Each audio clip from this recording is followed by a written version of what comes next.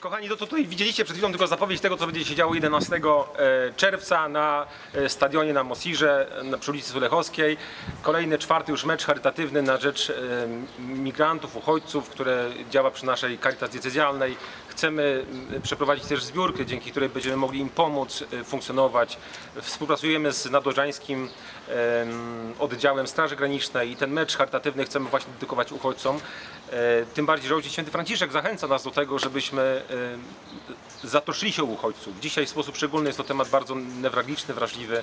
Nasza diecezja już e, zaadoptowała 10 rodzin, którym pomagamy między innymi w Syrii. Natomiast ten mecz ma być też takim świętowaniem i będzie połączony z ma- z Marszem dla Życia. Wyjdzie z Kościoła Świętego Zbawiciela o godzinie 13.30 msza święta z księdzem biskupem, a później na stadionie już mecz związany z pomocą uchodźcom.